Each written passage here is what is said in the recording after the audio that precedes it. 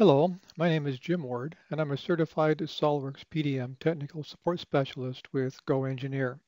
In this video, I will be showing how to find all files checked out on a particular computer, regardless of who checked it out. This is necessary when a computer or vault view is shared by multiple people and you need to delete the local vault view.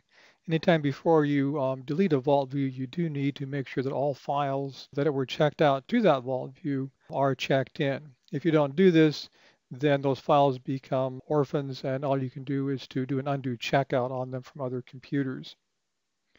The first method I want to cover today is to use the complete search that comes with SOLIDWORKS PDM. There is a search that you can do for checked out files, and normally you would specify a username. But in this case, since we want to find files checked out on this particular computer, regardless of who checked it out, we will not specify a username. So we will just run the search. When it's complete, all you do is you go over and you sort by the column checked out in.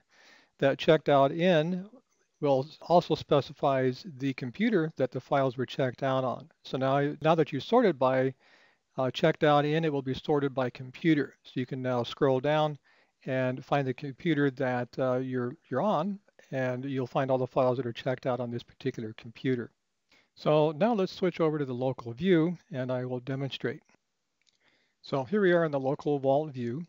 Uh, you do need to log into your view as the admin user, and your admin user does need to have full access to every file in the vault. So that means all you need to go check and make sure that he has full access to all files and all workflow states and that he's not a member of any group.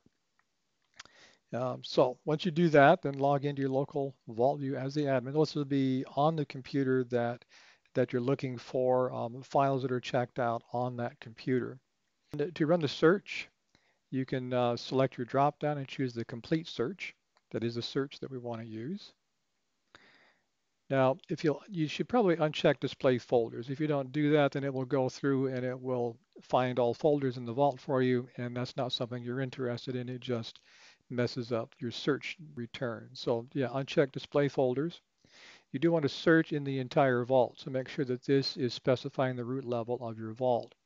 Um, the rest of these should be blank because you're not looking for any particular file. Then you go to checked in slash out and you want to make sure that you uncheck display non-checked out files. Between the two, that's really every file in the vault, and you don't want that. You just want the checked out files. And now for up here, let's see, we will delete that so that this is blank. And now you do a search. Now my particular case, this vault on my computer, on this computer, is the only vault view that I have. And so really everything is checked out um, in this computer. But here's the column that I am referring to is checked out in. So to sort by it, all you do is you click on the name checked out in, and then that will sort by, uh, by this particular column. And then uh, when you have multiple computers, you can go down here and find the correct computer. And then um, anything on that computer, of course, is is checked out in that particular vault view. Now, if you look over here on checked out by, you can see who has that particular file checked out. Notice that in this case, I found files checked out by three different people. There's uh, my one username, there's a system admin, and then here's Bob White. Um, so see, uh, relatively simple to go and, and use this tool to find every file checked out on this particular computer. There is another method that you can use, and that's to use the report generator. Now I will link the report to use uh, to this video and call it uh, find checked out files on computer.crp. And as I say, there will be a link to it below this video. I will also try to display this, so if you want to copy it, you can copy it uh, if you're having trouble getting the link.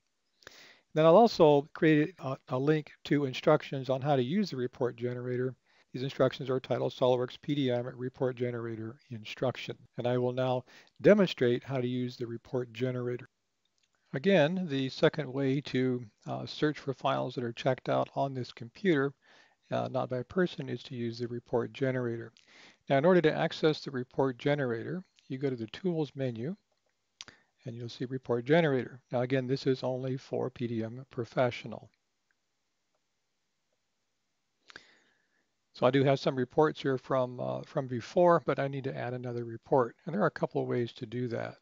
One is that you can uh, just um, select, there's a little icon here, import query. You can also go to the file, import query. Um, in my case, since I want to show you the query, I'm going to actually browse to where the query is located. I'm going to double, well, I'm going to open this up in Notepad. Um, in my case, I can choose Edit. In your case, you may have to come down and choose Open With so that you can tell it Open with Notepad. This is the, this is the report query. Uh, I won't spend a lot of time on this. You can go look uh, for other places as to how to create reports. Uh, this is all based on an SQL query, which is here, just a little short query, and that's all that's required. So in this case then, so that's what the query looks like, and you can pause the video here if you want to copy it. Um, you can save it, do it all in Notepad, and then when you're done, change the extension from .txt to .crp, and voila, you have a report query. So you can just select this file, drag it, and drop it here, and it will add it. And then, uh, by the way, you do need to have the permissions in the PDM admin tool to be able to, to add report queries. Um, as you add it, it will ask you who has permission to run this query. Um, in my case, I'm going to say all users. By default, admin is selected. These are groups on this side, users on this side. So that looks good. I'll say OK. So it tells gives me confirmation, one query added, and here it is here, find checked out files by computer.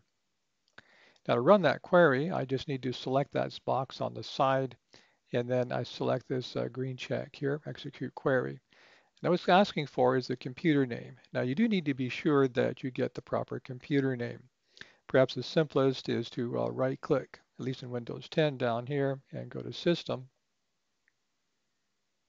And it tells you the device name here, that would be your computer name. You can copy it. In my case, it's simple enough. I could have just typed it in, but I've seen some computer names that are just a series of numbers. So you might want to copy and paste it. Once you do that, you tell that OK, and then it runs the query and gives you a very quick um, display, and it sorts it by username, file name, there's the computer, and the path in which you can find the files. That's really it. So this has been uh, Jim Ward showing you how to find files that are checked out on a particular computer, regardless of user, and I thank you for watching.